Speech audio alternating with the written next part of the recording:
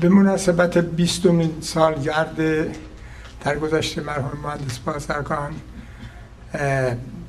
اکثر تحلیلگران سیاسی و صاحب نظران معتبر مقالات زیادی نوشتن در سایت های مختلف و ویژگی های مهندس بازرگان یا سیاستش بیان کردن از مجموع اینا چیزی که میشه برداشت کرد اینه که گفتمان حاک بر جامعه ایران و خواست مردم ایران در این زمان همون ایده ها و هدف ها و روش هایی است که مرحوم بازرگان تلاش داشت توجه مردم رو در اون جو انقلابی جلب کنه بهش.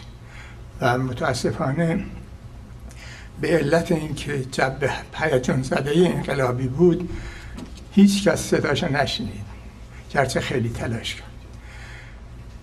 مردم مردمی که عاشق انقلاب بودن مجذوب انقلاب بودن عمل انقلابی می‌خواستن. عمل انقلابی هم کشتار و خونریزیه و نادانسته نه نخواسته ابزاری شدن برای قدرتگرایانی که می‌خواستن. سوار این موج بشن و شدن و قدرت قبضه کردن. و نتیجه این شد که کسانی بر سر کار اومدن که هیچ تجربه مدیریتی نداشته مملکت در جهتی رفت که هیچ سازگاری با این نظام امروزی نداشت. و به هر حال این پیش آمدی شد که همه شاهدش هستیم و الان هم عده زیادی تلاش می‌کنن درستش بکنن. چیزی که الان مورد خواسته دقیقا همون روش ها و همون ایده های مرحوم مهندس بازرگانه. متاسفانه ادعی هستند که گفتند و یا میگن که بهتر بود مهندس بازرگان نخست وزیری نمیپذیرفت و حیثیت و اعتبار خودش رو نگه می داشت برای یه روزی که بتونه نقش رهبری اپوزیسیونی رو به دست بگیرد و مملکت رو از یه شرایطی نجات بدید. این حرف به تصور من با شواهد دلایلی که وجود داره حرف به هیچ وجه درستی نیست. خیلی با اینکه یه قضاوت پسینیه و نوعا قضاوت پسینی باید مبتنی بر شواهد و دلایل زیادی باشه و مهندس بازرگان تذکراتی که می‌داد ایده هایی که ارائه می‌کرد و یا خطراتی که در کمین جامعه بود می‌گفت یه قضاوت پیشینی بود. اتفاق نیافتاده بود. ولی الان این اتفاق افتاده. است ما اگه می‌خوایم یه همچه حکمی بکنیم باید اینقدر دلایل شواهد داشته باشیم که بتونیم ثابتش بکنیم. چنین چیزی وجود نداره. اگه بخوام من شرح بدم شاید ده دقیقه که هیچی شاید نیم ساعت هم کافی نباشه. بنابراین من به یه خلاصه نتیجهش می‌پردازم. که از ده دقیقه تجاوز نکنم مهندس بازرگان می‌دونست و کاملا آگاه بود که مشکلاتش چقدر زیادی. می‌دونست همکاری با این گروه و با گروه انقلابیون بسیار سخته و احتمال احتمال ناکامیش هست. ولی احتمالش زیادش هم هست. با این حال تمام حیثیت و سرمایش گروه نجات مردم و آزادی مردم گذاشت اگر این کار نکرده بود امروز کسانی که مملکت اداره کردن خیلی با گردن افراشته می‌گفتن که مملکت در اختیار های مهندس بازرگان گذاشتیم قبول نکرد شونه خالی کرد ما ناچار شدیم بپذیریم. روحانیت می‌گفت ما از مردم خواستیم ما با تمام وجود هممون در حمایت بازرگان بودیم. اگه قبول کرده بود همه حمایتش می‌کردیم.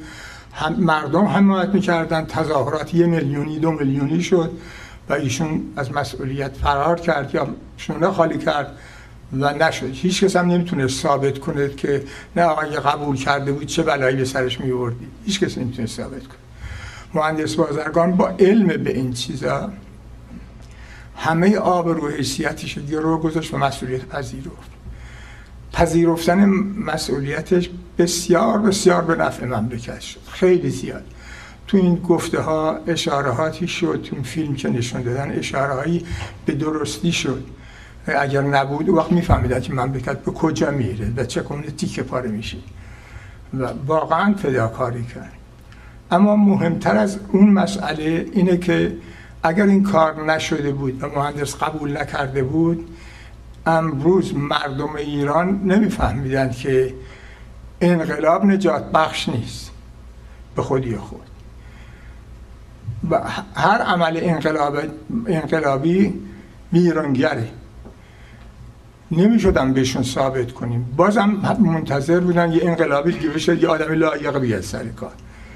اما امرو مردم می‌فهمن که جز این که تو کل مردم در یه جهتی باشن کل که نمی‌خوام اکثریت مردم فعالین در یه جهتی باشن که آرمانهای درستی داشته باشن. بر آزادی براشون اهمیت داشته باشه. آزادی براشون یه ارزش بالا باشه. و همونطور که حفظ ناموس براشون یه ارزش بالاست آزادی هم براشون یه ارزش بالا باشه.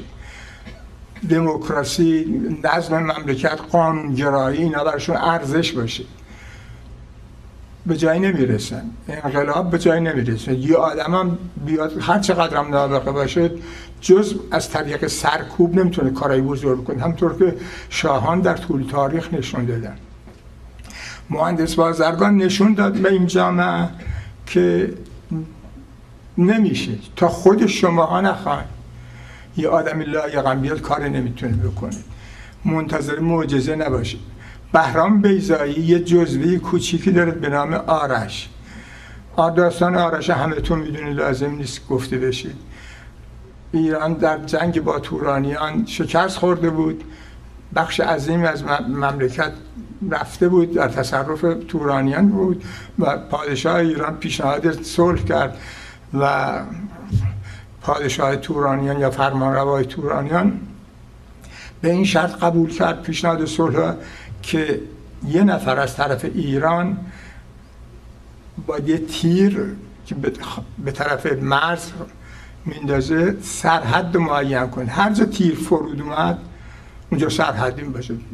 اگر دو کیلومتر رفت بقیهش مالی تورانیان نیست. اگر صد کیلومتر هم رفت بقیهش مالی تا صد کیلومتر مالی این است بقیهش مالی پادشاه پذیرفت و به کشواد که بزرگترین تیرانداز زمان بود حکم کرد و دستور داد که برو تو تیر بنداز. کشواد نپذیرفت. هرچی اصرار کرد و تهدید کرد نپذیرفت. گفت چرا نمیپذیری؟ گفت من برای اینکه اگه من بپذیرم این مردم یاد می‌گیرن که تا آخر دنیا همیشه گرفتارشون منتظر یه منجی باشن که بیاد نجاتشون بده. هیچ وقت فکر نمی‌کنن که خودشون باید کار کنن. ما باید بجنگیم پس می‌گیریم. ما باید بجنگیم آرتش متجاوز شکست بدیم بیرون کنیم. من هنچی مسئولیت قبول نمی‌کنم که یه کاری بکنم. شاه ناچارن رفت به آرشنامی رو پیدا کرد که تیرانداز درجه دو هم نبود خیلی کمتر بود و داستانش می‌دونید دیگه چگونه شد. حالا قضیه مهندس بازرگان قبول نخست ورزشش حالا اگر نشده بود مردم ایران بازم الان نمیفهمیدن. اما الان چرا مهندس بازرگان این شخصیت داره؟ چرا الان الگو شده؟ برای اینکه می‌بینن اون این جور می‌گفت اونا این جور کردن. سحن اونا گرفتن قدرت و راه دیگه رو رفتن. نشد. حالا مردم به همون راه دارن میرن. این درس برای مردم ایران بسیار قیمت داره. و الا بازم دنبال انقلاب می‌رفتن بازم دنبال منتظر یه منجی بودن منتظر یه قهرمان بودن و تکرار همین می‌شد قضیه می‌شد. ما اکنون خیلی تجربه بسیار زی قیمتی داریم. وقت هم هم نمی‌تونم بشن خیلی ممنون. قربان شما.